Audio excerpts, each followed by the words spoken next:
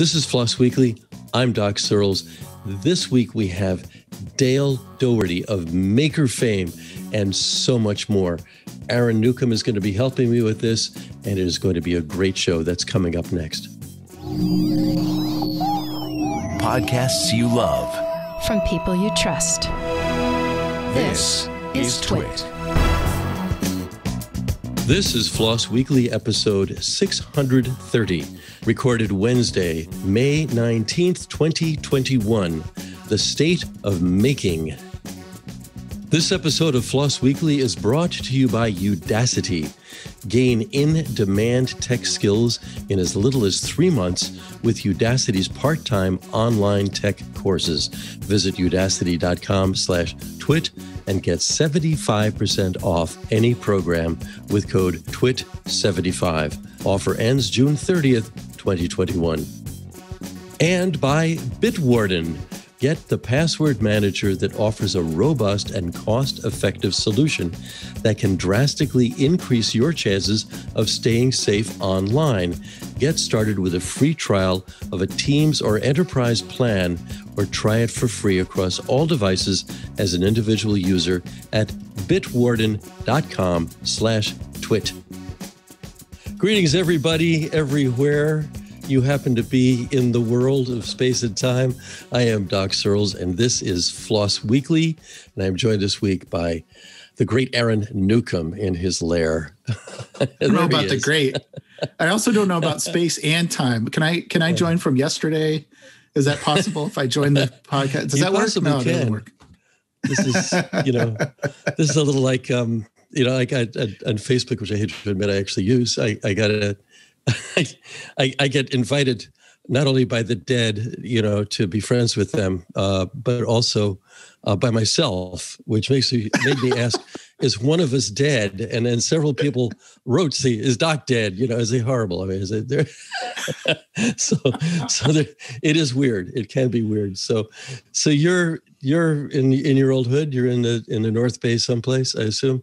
Yes, yes, I am, and I've got my uh, since we're using Zoom today, I've got my Zoom background on, so you can see the the front facing view, which normally you can't see. You see my mess behind me with all my projects on the floor in- Yeah. in, various uh, states of uh, completeness. So So yeah, so and and our a a uh, all, all of our guests are special, but we have like an extra special guest uh, this week who's right up your your alley, Dale Dougherty, of making and many other things fame, uh, and uh, and which which is your your bailiwick. So I'm yeah, expecting you to do yeah, most for sure. Uh, yeah, we'll talk. We'll talk about it. But I, you know, my, um, you know, Make Magazine really inspired me to, you know, found my own makerspace, start my own Maker Faire, or not my own Maker Faire. It's for everybody, but but you know, we started a Maker Faire here uh, in town, and that's uh, still going in in various stages. Um, and uh, yeah, it's been a it's been uh, a, a, a real. Uh, roller coaster ride really since make magazine since i first learned about make magazine and started getting invested in the maker movement so i have a huge debt of thanks to dale uh, in terms of bringing this to uh, fruition in part along with lots of other folks I just love that. Um, that uh, when when Dale was, and he could, he could correct me on this, but when he was still with O'Reilly, um, which you know, and, and Tim told me we're never going to make a magazine. and he got him to start Make Magazine, you know, because I, I thought, hey, why don't you why don't you buy Linux Journal, right? And I think Make Magazine was a much better investment than that would have been. Anyway, we need to get get going on the show. We got off to a late start thanks to my uh, technical glitches. So. But first, I have to let you know that this episode of Floss Weekly is brought to you by Udacity. Are you looking to take your tech skills to the next level? Udacity is the world's fastest, most efficient way to master the skills top employers are looking for. Udacity offers a unique part time online educational program designed to bridge the gap between learning and your career goals. As part of their nano degree programs, you can put in just five to 10 hours a week for as little as three months to learn a suite of employable skills. To create the course content, Udacity partners with industry leaders such as Microsoft, Google, IBM, and AWS so you learn the in demand skills needed in today's tough job market. Once you enroll as a student in a specific course offering, you'll be prompted to view the online course as well as complete a series of projects and support courses designed to help you develop job relevant skills. You can work at your own pace any time of the day or night. Udacity helps you build a portfolio on GitHub and LinkedIn to show prospective employers. Learn to network, get noticed, and land the job you want. So, what are the most sought after Udacity nano degrees for consumers and business clients alike?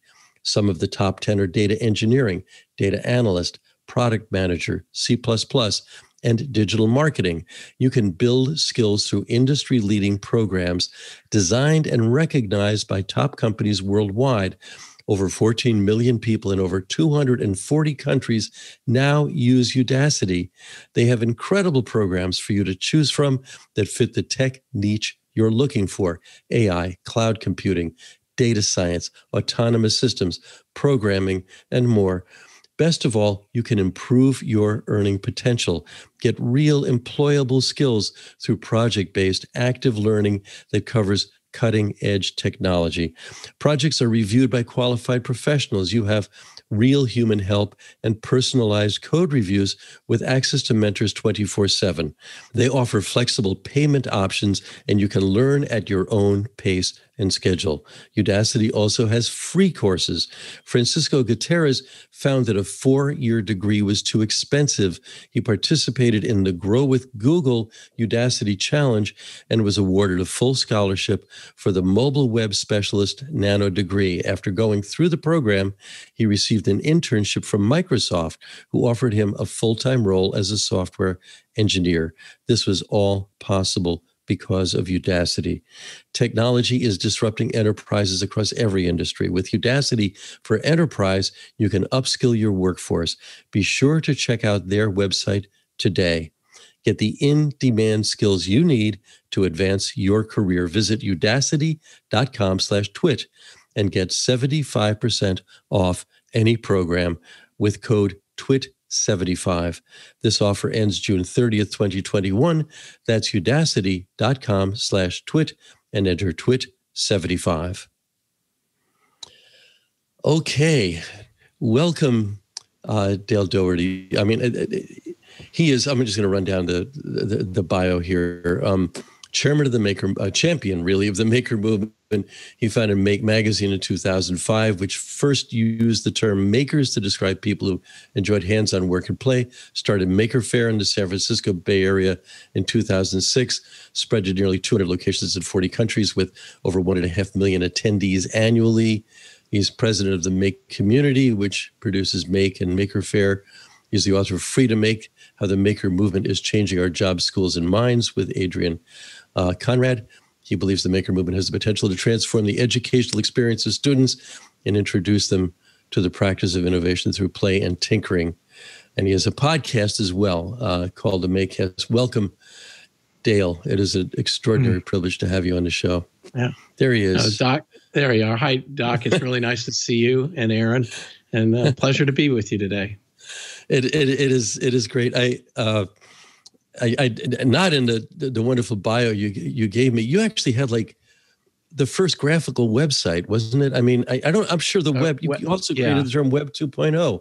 I mean, yeah. the web wouldn't be the same without you. It's not yeah, just the well, maker. Thank you. I don't know, but you know, uh, in uh, you know the early 90s, uh, I you know learned about the the World Wide Web and you know connected with Tim Berners Lee and thought there's something special here that anybody could put pages on the internet and other people can find them. And so uh, in '92, we launched. Uh, you know some some version of this and based on an O'Reilly book called uh, Whole Internet Catalog and and it became uh, GNN uh, uh, which was launched in 93 and uh, really uh, that's what excited me is hey we could actually not just do text like in in some of the old tools that were available there but we could we could put images and it seemed like an environment which you could publish information and uh, all kinds of information and uh, that that set me off uh, down that road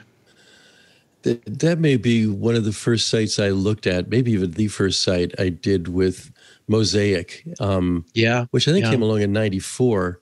There was Lynx before that. It's, it's um, actually '93. Um, '93. I had. Huh. Yeah, it, it, in the the first one, the X Windows version of it, it was 1993, the spring of '93. We had a, I had because I was launching this GNN, I had a World Wide Web Wizards workshop in Cambridge, Massachusetts, and and we had had 30 people, which was pretty much everybody, including the Mosaic team, that was working on either web browsers or web backend servers. And uh, you know, it was the first time they all got together and talked through things and. Uh, you know, Tim Berners Lee, Marc Andreessen, um, and, and uh, you know, but that's how small it was back in 93 yes so that was probably the first summit right yeah it wasn't a very yeah, tall really hill was. at the at the time but that was a, that was a, yeah. a, a, kind of summit i wanted are there photos from that are there is there is there you know, i haven't seen it but there were probably a few there's probably a record somewhere uh, i haven't kept it but uh some of those so, things so when was the was there a moment when you um, either went to Tim or went to yourself or somewhere and said, "Hey, we have to do a magazine, and we're going to call it Make." Um, yeah, there, there was yeah. actually a moment, uh, and, and, it kind of fits into this story. Uh, uh, Tim and I shared a cab uh, in Portland, uh, uh, going to the open source convention, and I was just talking to him, and I say, "Tim, I have an idea for a magazine. It's kind of Martha Stewart for geeks." and uh, and and that was the pitch to him. And he said, "That sounds interesting. Go ahead. You know, just explore it." Tim has always been pretty supportive, and uh, just uh, that that's that's all it was. I had been doing a series of books that uh, at O'Reilly called Hacks, and uh, you know most technology books and most technology articles are about companies producing things. And what interested me in in this hack series was how people were oh given a, an API to the Google search engine what kind of applications they were building on top of that. Things that just reflected their own interests uh, it had not necessarily any idea that it was commercial. It was just something cool and fun to do.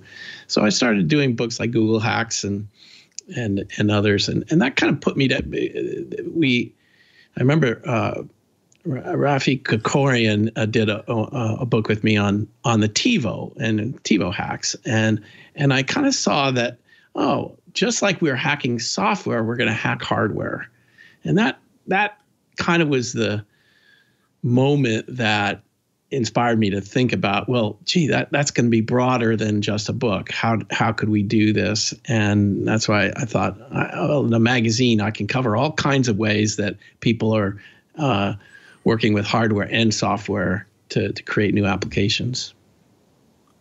That's it, that's really interesting. That uh, I'd actually half forgotten about the hacks thing. There was not. I mean, if if you look back on the way, actually, the whole hacker movement, the whole geek movement happened going back to the 60s and 70s. Even is that everybody who was programming seriously was doing it in a corporate environment, and and in respect to O'Reilly books and your and your books, um, you would go into into the engineering corner of any large company, and every this is in the in the era when when all hives were were equipped by Herman Miller in cubicles, and every cubicle had a shelf, and on that shelf were O'Reilly books. And yeah. but what happened, I think, and your your insight, I think, actually both with with and with with Make Magazine is let's work for the for the individuals. Let's work for the geeks here. Let's give them something. And it also recognized that, and it's actually something Marc Andreessen said. It's actually haunted my mind ever since he said it. It was in an interview journal when he when he and Netscape were open sourcing what was then the Netscape Navigator and became Mozilla, um, which is all technology trends start with technologists. And and that's of course it's it's like a, it's almost a tautology it's an obvious thing a technology starts with technologists but it actually starts with some geek who has a, a an itch to scratch or just a you know a muse to follow or yep. some hack to do whether it's on a tivo or something yeah else. and and that's exactly right. And I, I think that scratch your own itch, Eric. Raymond's famous line was just what I was following and and looking for people doing this. And I think the other component that, you know, I mapped into, you know, it was my familiarity with open source is that sort of that itch gets expressed as a project. And a project is not a company, it's not a product, it's its own thing. It has its own life cycle, if you will. So, you know, when I got into Make, it was sort of about people and projects. Uh, that's what I wanted, and and I wanted to because this was not just hey download this code and run it. It was you. It required a build, and so I wanted to share the details of that build. That was my version of open source uh, physical things that you you know the more people could see the instructions of how something was built the more they could learn from those instructions to build something of their own Yeah, it, I mean it's it, it's interesting to me. I mean, I I want to I want to know when when exactly did you start Make Magazine? I mean, I have this I. I, I just pulled this off a shelf. This is volume six. so, yeah, yeah. Here in my office. Yeah. But so what, what here's was the, volumes. Here's volume seventy-seven. so, so we've come a ways. But what what, what uh, year was that though? Uh, we started, started in two thousand five. It was the first publication. You know, February two thousand five. We published it, but we started working on it in two thousand three and four. Uh, Mark Frauenfelder was the first editor uh, of oh, wow. Make, yeah. and we had a small team uh, that put it together. And uh, you know, I, I, remember some advice was uh, if you start a magazine, make sure you have enough content for you know your next issue and your next issue and your next issue. That you know some ideas run out of thing. And that's what led me is that, well, there's, you know, everywhere I turn and talk to people, I'm finding new projects and, and new people with projects. So it, it seems, and I'd say that's still true today. It's an almost inexhaustible, inexhaustible number of projects uh, that are out there. And then you take an editor like Mark, who's looking for things that were cool and fun and, and maybe hadn't been covered widely. And so I think we, well, in some ways we were a technology magazine. We decided early on that like popular mechanics we wanted to follow what people were doing uh, even if it didn't have a microcontroller in it or uh, wasn't about uh, a machine. So you know we, we might have covered you know kombucha recipes and things like that but it was had this strong diy flavor. And that and that that's really about sharing sharing uh, how to do something. And and I think the magazine and a lot of what we've done is about passing on know-how, which is practical knowledge, which is you know the procedure or process for doing something, not just the theoretical or conceptual grounding of it.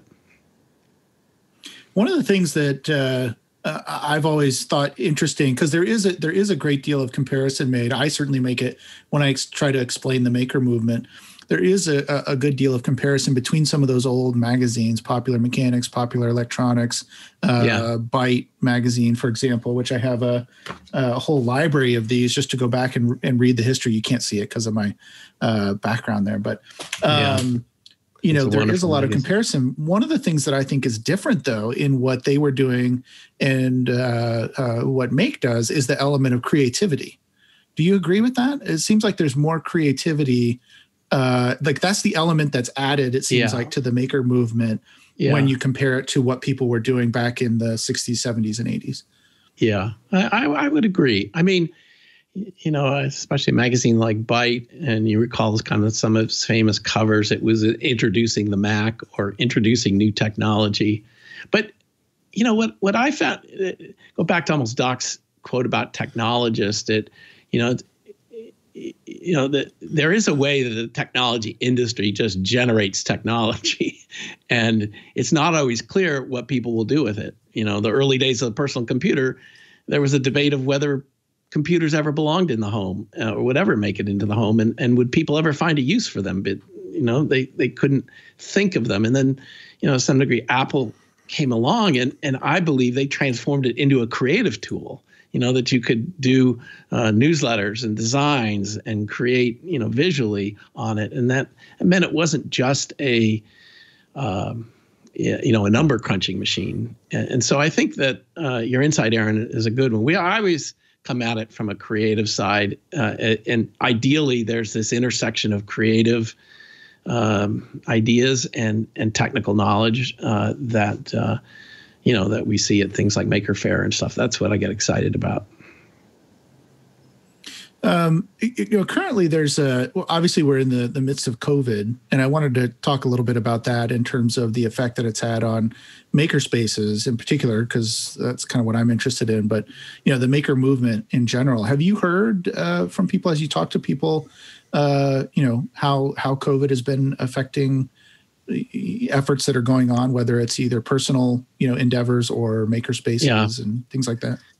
Yeah, well, I, I think it it's it's had both negative and positive effects. Uh, on the negative side, um, maker spaces in libraries and schools are closed because those you know, um, institutions are closed, uh, and, and, community maker spaces uh, have had periods of, of closure. Um, some have, have begun to open up, um, but it's it's uh, a few vulnerable spaces have closed entirely. So it has been a hit. But I think what we also saw during COVID 19 was actually the realization of what the maker movement is about. Uh, people began to realize that their hospitals and medical professionals lacked personal protective equipment. And the supply chain and the uh, distribution systems for that were gummed up or broken. And so there weren't um, really good sources for masks, face shields, and, and other devices. Uh, and the maker movement, in some ways, technically was, I think, based on this idea that I credit Neil Gershenfeld of Fab Labs with, which is, you know, a digital design can go anywhere in the world, and you can have equipment locally to produce the thing using that design.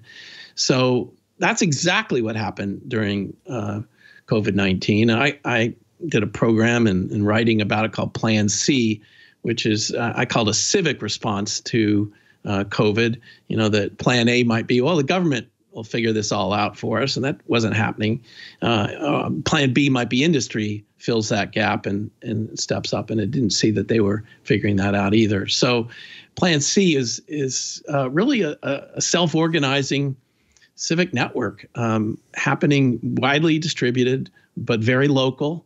People were making stuff and taking it to the hospital. And if the hospital refused, they contacted doctors who said, "Yeah, give it to me, bring it to my home, and I'll take it in." And yep. so that that you know, I, I hope we don't lose sight of what happened uh, in these maker spaces during COVID 19 because I think it is a really important lesson uh, as a country that, and, and really as a world. We should understand that we have these systems that can be used flexibly. And, and here we have people that, again, like you, Aaron, you know, have been involved in the maker movement, set up maker spaces, learned to use the tools, and all of a sudden there was this crying need to do this thing, and they stepped up you know, they they figured out what they needed to do, and even if they didn't have the medical expertise, they they they figured out how to uh, how to apply the, their own knowledge and work with people who had that expertise. And and I think it's just a we we need some kind of uh, distributed, flexible, localized uh, uh, system for for creating things, particularly you know in, in uh, times of emergency. Yeah, I think that's a great uh, um, positive outcome, definitely. And we would definitely saw it here in the community that I live in, Benicia. We made, you know, there was a group of us. It wasn't just one person either, right? This was, it wasn't just me at the makerspace. It was other folks around town. We, we made hundreds of thousands of, of fabric masks, fabric masks, uh, ear savers for doctors. Those went like yep. crazy because it was really hurting. There, it was something really easy that you could print. Anybody could print those on a on a cheap 3D printer, right? Exactly. Um, and that's the big difference. We talk a lot about we talked a lot about uh, comparisons between uh, COVID and World War II in the group that I was in. But the difference there was, to me anyway, is that when, in World War II you had uh, like metal drives, right? But you couldn't make the parts. But in the Yeah. world we live in now with the maker movement, you could actually make the things, right? You didn't Right. have to just go collect the resources. You could actually Right. make them. I thought it was really fascinating Yeah. uh, to see the community come together in that way. And I, you know, I have to say, if it's not obvious, I'm just really proud that the community was able to contribute this way, and that people worked so cooperatively, often with no funding. Um, you know, they were making these things and donating them. Uh, meanwhile, you'd see billions of dollars running out to some, you know, other company or whatever to to do similar things, and they were failing at that. So, you know, I, I just wish that you know our country and others would sort of get their act together and figure out how to support the maker movement because uh, it really um, it, it really did something that uh, you know I had a doctor write me that. Uh, you know, he said for for four to six weeks, the maker movement, you know, made sure our our medical system was working in our community, that we could, you know, uh, serve the needs of patients. If we didn't have that, we wouldn't have been able to do that. And uh, so I don't want it to just go away quietly. I think it deserves attention. Yeah, yeah, agreed, uh, hundred percent. You know, one of the things that struck me as we're sitting here is that uh, you know it's the end of May, nearly the end of May, and at least here in the Bay Area, that's when folks would be getting all their stuff together uh, as a maker, at least bringing stuff down to San Mateo to have in the big Bay Area Maker Faire. Yeah. And I'm sure other people are are looking at their calendars, you know, and uh, you know, as Google Pictures come up, it's like, oh, what was I doing this time last year or the year before? Oh, you were Yeah. going to Maker Faire. So Yeah. um, it's a little bit little bit sad, but I'm just kind of curious uh, what the status is, the current status of Maker Faire right now. Yeah. Well, it's great. I mean, I think we're all sad, also trying to figure it out. We haven't had Maker Faire last year or or won't have one this year in, in San Mateo or in the Bay Area. We have some smaller ones that are starting to come back. But, um, you know, I, I think it's a real challenge. I have to uh, sort of figure it out and see if we can find a way to do it next year. Um, I'd love to hear from people that are interested in in either helping or uh, I, I think it, we have to reinvent it. Uh, I think uh, it may have it grew into something that was quite amazing, but also very costly and very complex. And I think we maybe have to step back and go back to its roots and and try to make it uh, um, see if we can bring it back that way. You know, like I said in the intro, though, you know what attracted me about Maker Faire? It was still kind of a community, finding people in a community with projects and allowing them to just stand at a table and talk to people. And by that, through that method, you helped inspire other people to get involved and to learn, in particular kids. And and I, I think, you know, some people might say maybe we don't need Maker Faire anymore. Um, but I kind of say think about those kids that never had a Maker Faire because I know how much it mattered to those kids that went to Maker Faire, and and I see their work, I see the connections that they made, uh, in, in what uh, how they got involved in say robotics or, or something else, and so that that's why I want to see it continue. Um, I'm I'm pretty open to it. Uh, you know, there's a I think that personally there was always a, a it was a very stressful time because we never knew you know how many tickets we'd sell or you know if we'd get enough sponsors and you kind of had to just set out to do it and see how it it, it all uh, came together. And you know it it almost always did come together but uh, the the risk uh, you know in sense over time grew, grew and grew. Um, and and so we we we the pandemic's a kind of a blessing in a way to give us time to think about it and and uh, and see if there are enough people that care to that want to get involved again. Um, and uh, you know, we certainly continue to see it in other countries. Like um, our largest Maker Faire the last couple years has been in Rome, um, and uh, so uh, you know, I, I think uh, we, we have to. You know, Maker Faire was done without any government support, without any foundation support or nonprofit backing. You know, it was, it was really done just on ticket sales and sponsors, and um, that that that that was hard. Yeah, yeah. I, I'm I'm curious, um, and uh, I don't mean I don't mean any offense by this question, Yeah, which is sure. always like a a for giveaway. But um, did the focus shift? It sounds like from what you when you first started out, you said you talked about getting back to its roots. I'm just kind of curious, did the engine get so big at some point, especially with the Bay Area Maker Faire being so big? Did the was there focus creep? Did the focus shift uh, towards more of the commercial side of things, and and did that detract from uh, you know the the core of of the of the program when it first got started? Yeah, it's a good question. It's hard to know. I mean we we'd get two kinds of comments. One is in in some years people would say, "Oh, Maker Faire's gone too commercial. There's too many mm-hmm. sponsors there." But I'd also I'd also get comments like, "Well, where are the sponsors?" You know, I you know this company's missing. You know, I I, I want to see what they're doing. So I thought we blended it pretty well. I, I don't think that was you know what what we sort of got caught up into is the number of people who wanted to come. Uh, uh, you know, as you get into the tens of thousands of people, you have to spread them out over a bigger area. Um, you need, you know, the number of makers that wanted to participate. You know, in the early days, it was doubling each year, and then you know it grew uh, uh, more incrementally after that. But still, you'd had thousands of makers with really pretty good exhibits that that wanted to show up. So we were trying to knit all that together. Um, I do think the the truth is that the sponsors had, you know, towards the end have had kind of trailed off. We we were. Mm-hmm. Uh, it was less a thing that they wanted to be part of and saw it as a unique opportunity.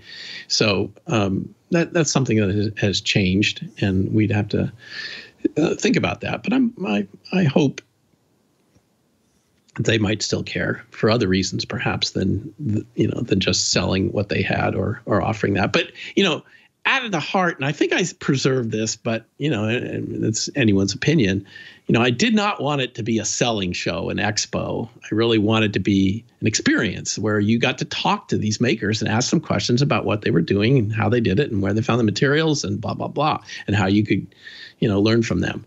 And and i think we we we kept that conversation to be core Maker Faire, uh, and it just you know, but it had other wonderful elements of like spectacle and you know a lot of Burning Man folks there with with things that you you know you you wouldn't see unless you got to the desert. So I I think it reflected the Bay Area creative culture in a, in a really great way. And that's one of the things i was proud of. But you know the bay area in addition to having that creative culture also has a commercial culture. And you know, people work at a Google during the day and they do Burning Man at night. You know, it, it's the complexity of it. But some people want just one side of that, just the creative side and not the commercial side. And I get that. I have more questions for Dale, but first I have to let you know that this episode of Floss Weekly is brought to you by Bitwarden. What is the easiest way for businesses and individuals to store, share, and sync sensitive data?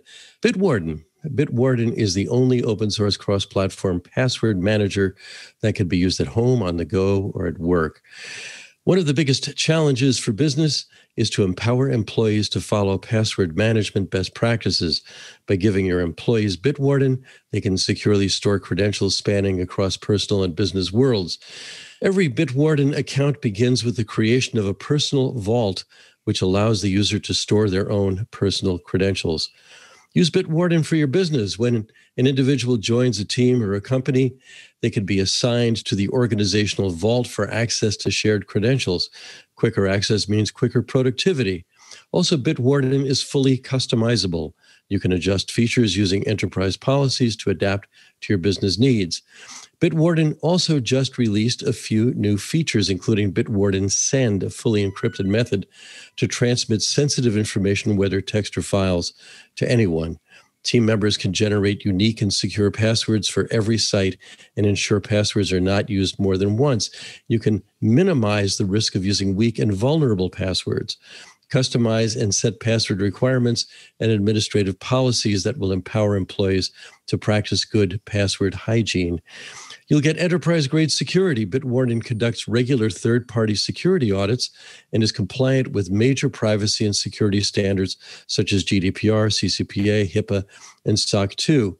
Unite your existing systems with Bitwarden using SSO authentication, directory services, or powerful APIs, and a fully featured command line interface. Get up and running fast using the Bitwarden Cloud or gain complete control with the option to self host. You'll be able to monitor and manage security vulnerabilities using the Bitwarden Vault Health reports with actionable insights to exposed, reused, weak, or potentially compromised passwords, as well as identify any items in your vault with inactive 2FA. Mitigate the likelihood of successful phishing attacks by storing passwords and other sensitive information with an end to end encrypted vault. Bitwarden is an open source password manager trusted by millions of individuals, teams, and organizations worldwide for secure password storage and sharing. Get the password manager that offers a robust and cost effective solution that can drastically increase your chances of staying safe online. Get started with a free Teams or Enterprise trial or a Teams or Enterprise plan at bitwarden.com slash twit or try it for free across devices as an individual user. That's bitwarden.com slash twit. So, so Dale, uh, um, there was kind of a I don't know what that was like in 2019. It was it was an advance of the um, of of the of the pandemic, but it was sort of an announcement that Make had closed or something, but it really didn't yeah. quite. I think so. Well, it, what what, it, what went it, down there?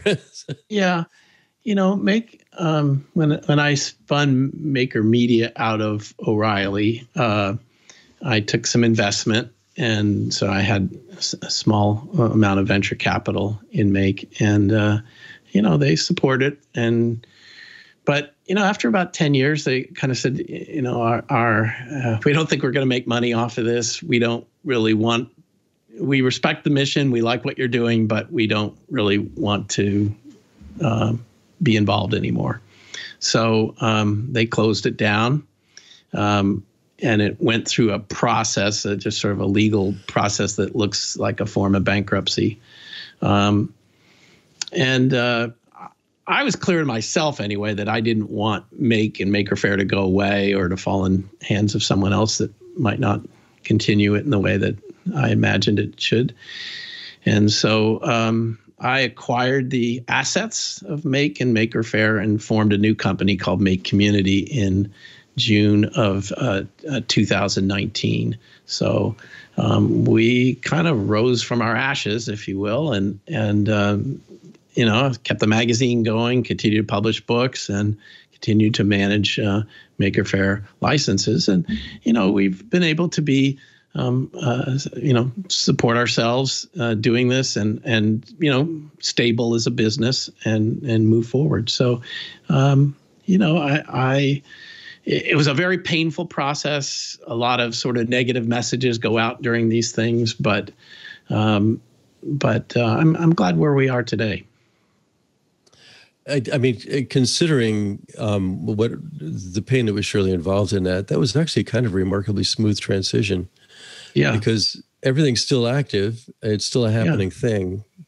And so the people, quite, you know, the people, you know, we lost a few people, um, but for the most part, the core team, the magazine, and um, people who worked on Maker Faire were able to kind of sustain that. So, um, you know, I feel, I feel positive about that. But you know, it is a you know, businesses succeed and fail for a lot of reasons, and you know, I could even be to blame for some of them. But uh, you know, the important thing they also continue because people want them to to continue, and I still think there's uh, there's uh, uh, uh, you know uh, you know a future for this. I I, I, I want to make sure it it uh, it continues. You know, I, I I was thinking one of the reasons I asked you earlier about when uh, the magazine started was that I wanted to kind of figure out what age my son was, my youngest son, who's uh, now 24, but he was like nine at the time. He took, I mean, I got I got one of the first magazines. I got the first one, and I was a subs- subscriber. Uh, I think that whole time Thank anyway. Um, while while he was young, and um, he had to have it, and he wasn't even like especially a maker type. I mean, you know, it's he was a reader more than a maker. Though we made some stuff, yeah. you know. It, yeah. Um, but it was like he had to have it, and what made me uh, think about it um, uh, it is that I, I mean, one of the things I started thinking about it back then, and I think about it the same way today, is that human beings are makers first. I think more than anything else. I mean, what do we know about old uh, ancient humans? They made stone tools, right? right? Yes, absolutely.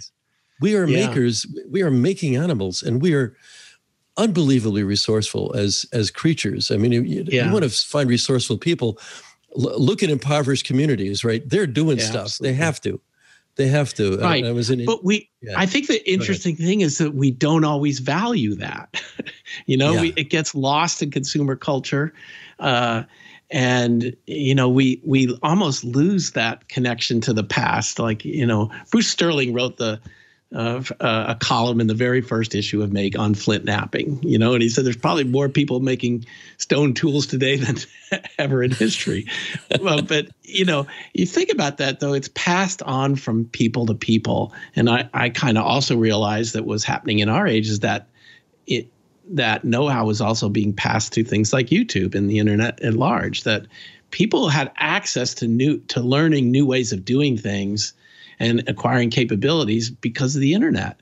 Uh, in, in the past, they were often limited to the people they knew to teach them these things. And if your mom or dad was a maker kind of person, you learned from them. And if they they weren't, well, you just thought you didn't have that capability and that never developed in you. So I, I think the internet has leveled that and made the opportunities available to more people to acquire this know-how.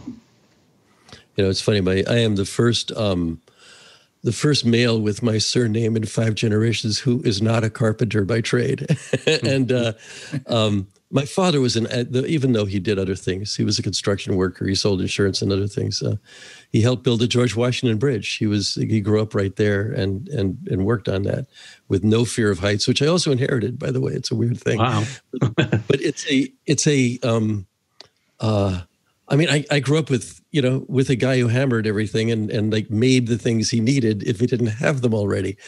And and that is just such a human thing. And I, I really feel like there's a, a bit of a tug of war, and, and and you've been more involved in it than anybody, I think, between on the one hand, what you call consumer culture. You know, we're going to consume what companies make, and um, and you know there's almost a digestive process where you buy a new one like, like even a phone right? you get rid of the phone if it's three years old he's not going to do the stuff you need now and um, and you're going to consume it you're going to dump it even though it's an extension of yourself and you have tools on it yeah. your software yeah. tools but yeah. but but there's this other force that's a really human force that is i'm you know i'm participating in this world as an individual who is going to socialize what i learn and and and have other people use it because it's helpful and i think there these are these are in a constant conflict yeah.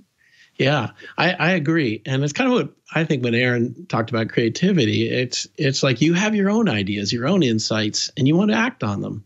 You don't just want to say take take what other people give you, and that's good enough.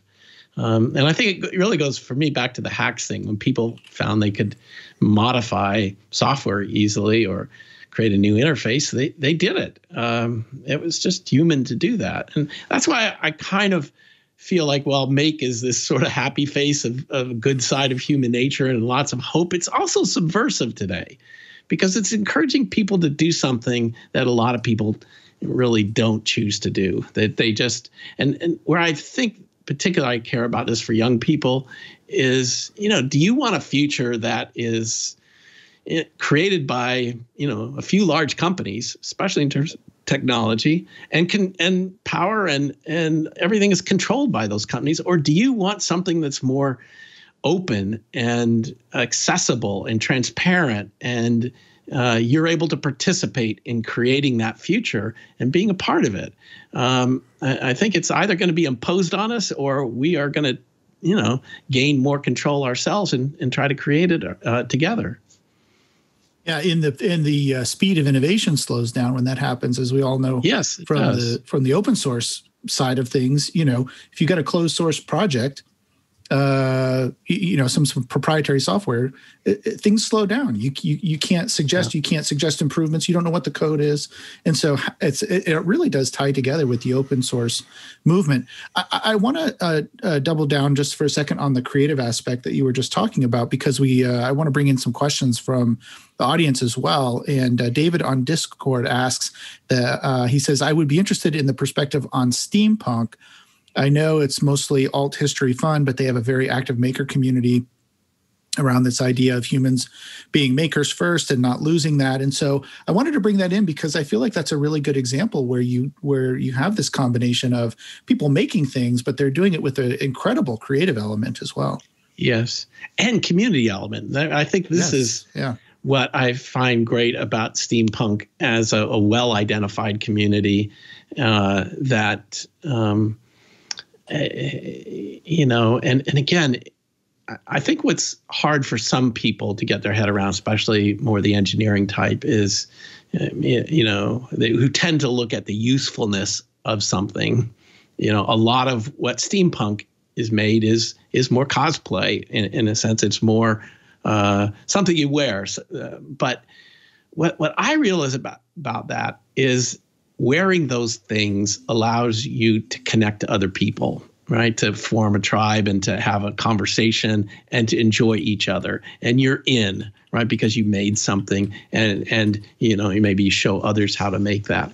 And that that sort of sense of association i think is really powerful. And and for a lot of people some of the bad things i think in our culture is, is you know are happening because people don't belong somewhere they they don't have a thing that is their creative outlet, uh, is is a place for them to direct their energy and and is positive and and gives them you know back something that's that makes them better people. Yeah. So I heard you say uh, uh, place and uh, outlet, and so that brings me to my next question, which is maker spaces or hacker spaces themselves. Yeah. Um, of course, uh, how important is a place to go do this in terms of uh, uh, uh, of this community uh, aspect and everything that's going on, and also you know, I guess that also brings up the question: is hackerspaces seem to be, you know, they'll they'll go like gangbusters for a while, and then all of a sudden, like they kind of go away. Now, taking us taking aside the COVID stuff, right? Because we know that yeah. COVID has definitely had an impact. But I mean, why is that? How important is that? And and why do why do they kind of come and go?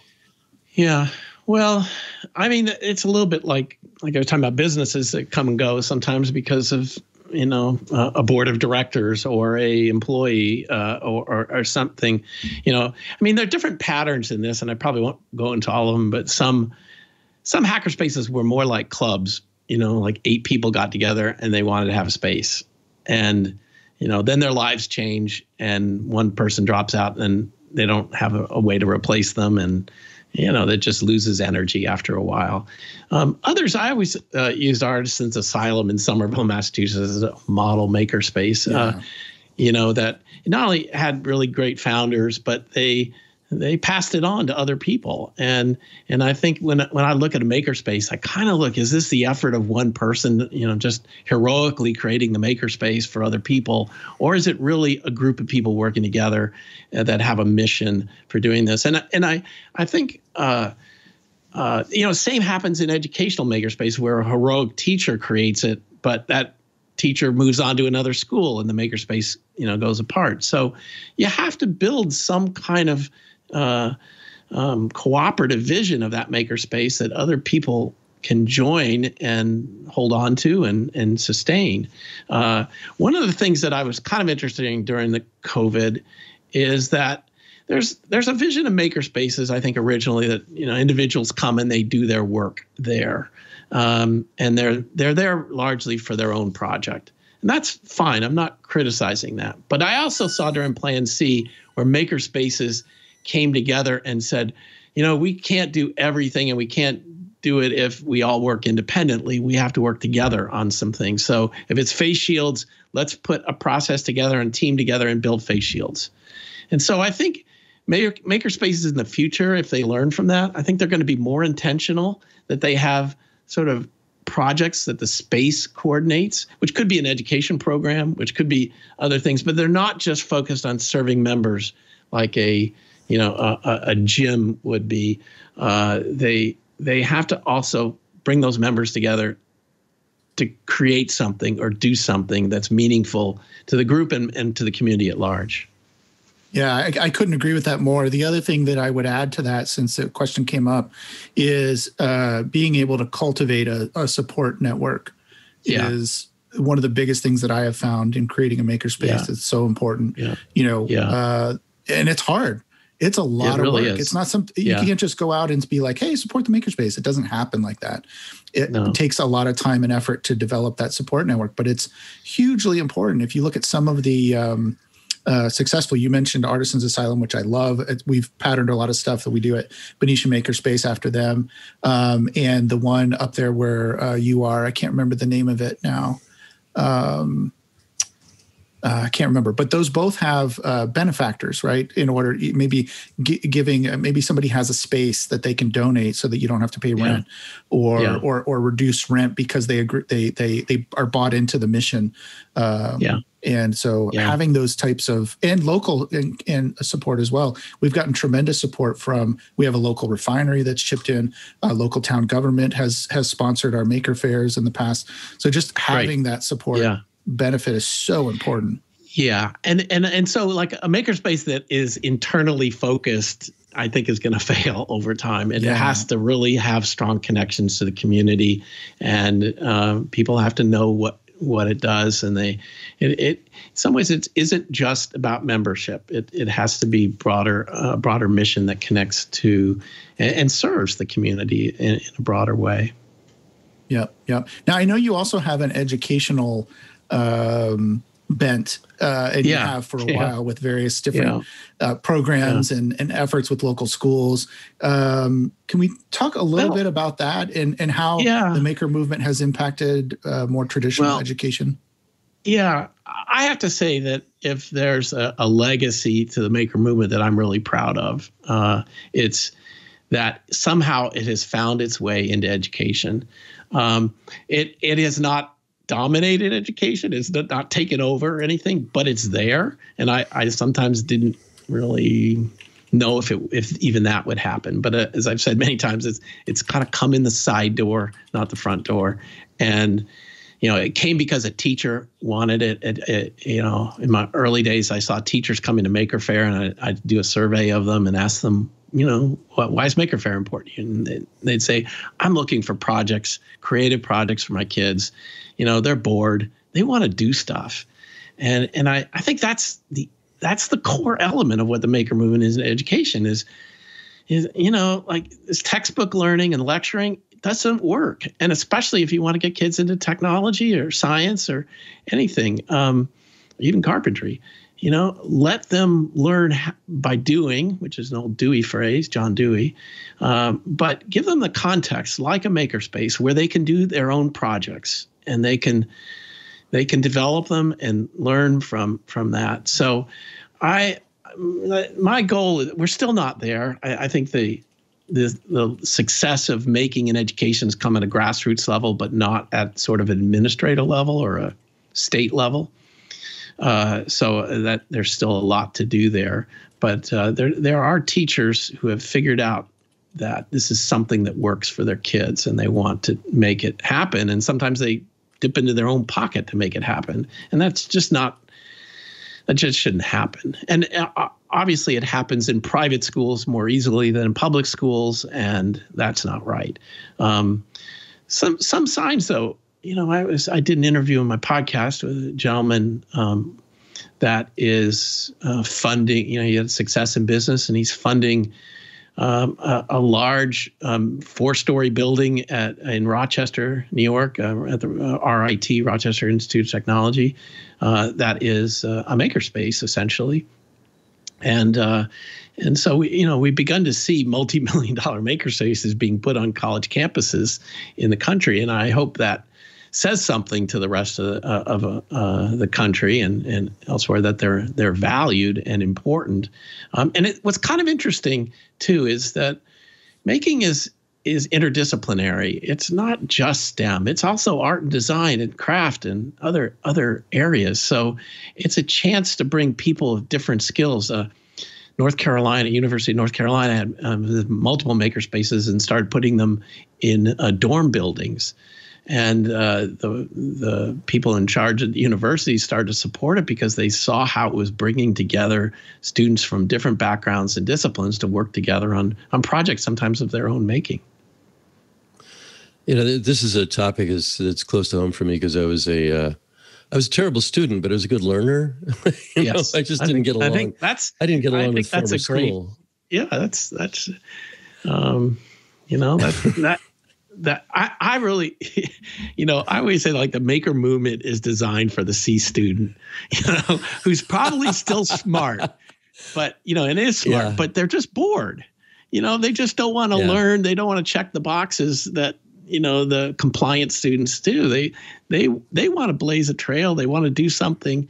And so it's to me that's uh, that's an exciting opportunity. And if schools could just realize you know let's not worry about getting you know your top 10% of students into ivy league colleges. Let's worry about the bulk of students in in your student body who are bored. They don't know what they're going to do with their lives. They're not good learners. Let's just make them good learners and encourage them yeah. because there's many paths available to them. Just you know like your your advertisers here. There's there's different paths than going to a four-year college and spending $100,000 you know a year for for that education.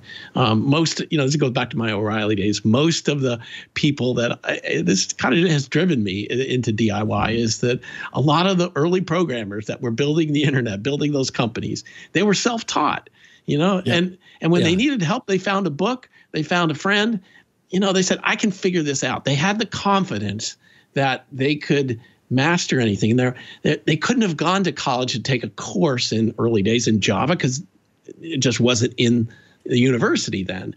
But they could pick up a book and and and say, yeah, I can do that. It, it's uh, it's interesting when uh, we used to when Linux Journal was operative, and I would be speaking to a group of geeks somewhere. You know, it might even be like you know, I mean, uh, yeah. even students. And I'd ask how many people here, especially Linux hackers, like like kernel hackers, the alpha alpha dogs that are. How many of you here are doing what you learned in school? And the answer was like none. you know, yes, they were exactly. all self taught they all learn exactly. from each other you know or yeah. from themselves you know it's it's um and and and you know if if i think about covid you know like you know it could have been and it probably still is uh, uh, uh, an opportunity for students to realize that they can direct their own learning they can decide what to do and schools should be a lot more accommodating of that right? Uh, and help them and support them in that. But there's so many good choices online. You know, like if you were to take a computer science class at high school and have a boring high school teacher who doesn't know much about computer science, why not substitute an online course where you have you know a really knowledgeable person and you know challenging curriculum uh, and, and, say i'm going to do that instead and i'll do that in the evening you know it, if we could view school as increasing the optionality of students to to to find uh, things that support where they want to go and what they want to do. I, I think eh, you know we we we we changed fundamentally our school system from being kind of a monopoly to being you know a buffet of lots of different choices. I think that's inevitable. Um, yeah. So we are actually like just about out of time. So oh. I, I, I, this is there's so much more we could talk about, and we will have to have you back. I say it to everybody, but it's oh my god, there's so much. Um, so we, we, always we always end, end us with a couple of, of, of questions. We'll skip the one which is is there one we haven't asked because we will go over time, but we'll go into the other three. First is, do you have anything to say at all about blockchain? That's kind of a control question for us. We're just asking. well, you know, I go in and out of it. You know, and, and certainly there's some interest again. I, I've always thought of blockchain as, as fascinating, just in the education space and, and things for um, uh, keeping track of non-financial information, like a transcript or um, uh, credentials, um, and uh, so as a ledger for those kind of things that ought to be available and open and not needing to go through an, an institution to acquire. So. You know, I, I tend not to think of it in the financial Bitcoin sense, but just sort of in terms of the technology in the back end. that's one of our best answers, I think. Um, uh, and finally, what are your favorite text editor and scripting language? Well, I have to say VI was what I learned about, and I, you know, edited books, and I, you know, it's. I think it's just human nature when you the first thing you learn you kind of stick with, and Emacs and all these other things. There's a lot of now app tools, and they're they're they're you know similar uh, and probably better. They color code this and that, but v, VI was, you know, just learning the Linux the Unix command line in the in the uh, mid 80s was uh, was very powerful. I always say two things I learned in school. What that was really valuable. One was typing. you, you, know, you know, like it was a boring class, but you learned to type, right? And that was, you know, you think about as a writer, as anything you were doing today, being able to use a keyboard was just such an essential tool. So, and then you know, then having later on, you know, I'm self-taught in computing but it was it was logic you know like i i read philosophy or literature and stuff. And you know people always said you had to be good at math to be good at computers but it was actually logic that i think you know you need to be good at. And and it was wonderful when you got into like writing programs because you could test your logic and it failed or or it succeeded and you moved on I got some of my best grades in logic. I got a C in that one when I was in college. get, get me from flunking out of college. Well, Dale, it has been absolutely awesome having you on here. Thank you. Thank you again, and uh, and come back and uh, and uh, you have your own podcast too. So it's not like yeah. people will be denied you. It's a happening thing yeah, as well. No, that's great. So so thanks yeah. a lot for. Well, thank you so here. much. I appreciate it, Aaron. Thank you. Absolutely. Wow. So, uh, Aaron, that was pretty awesome. Yeah, definitely. Uh, like I said, I, I owe Dale and, and all the folks that have been involved over the years a debt of gratitude because it's certainly been inspirational to me for the things that I've done. You know, even even down to writing. Uh, you know, my book isn't gonna. It's not gonna work. You have to hold it in front of filter. your chest if you're doing that. Yeah, like this. Does that work? Does that work? Yeah, that's how it works. Oh, there we yeah. go. There we go. Yeah, yeah. Linux yeah. for makers. Um, you know, which was uh, something I never thought I would do, right? Uh, until I did it. I had no, I'm not, I'm not an author. I'm not good at writing. Um, but I was inspired to do it because of all of the great things that have happened in the in the maker community over the past 10 years or or, or more. Um, so yeah, we could have gone on for. I feel like we could have gone on yeah. for another hour at least. Yeah, at least uh, we could go on forever.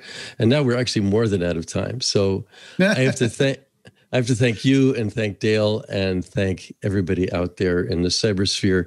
This has been another Floss Weekly. We will see you again a week from today. Thanks very much.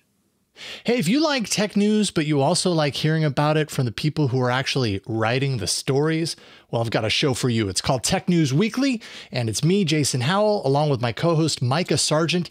Every week, we invite the people making and breaking the biggest tech news stories from around the web onto this show uh, to talk to us about it. It's a lot of fun. You should check it out. Tech News Weekly can be found at twit.tv slash TNW every Thursday. We'll see you there.